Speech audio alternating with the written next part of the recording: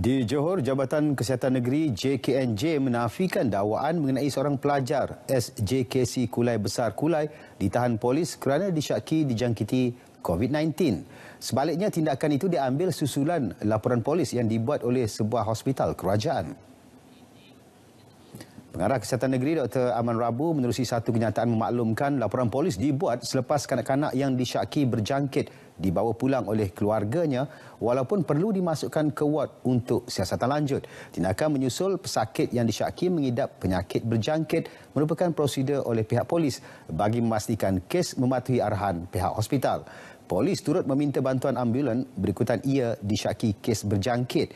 Jelasnya, melanggar arahan Perintah Pengawasan dan Pemerhatian mengikut Seksyen 15 Kurungan 1 Akta Pencegahan dan Pengawalan Penyakit Berjangkit 1988 merupakan satu kesalahan.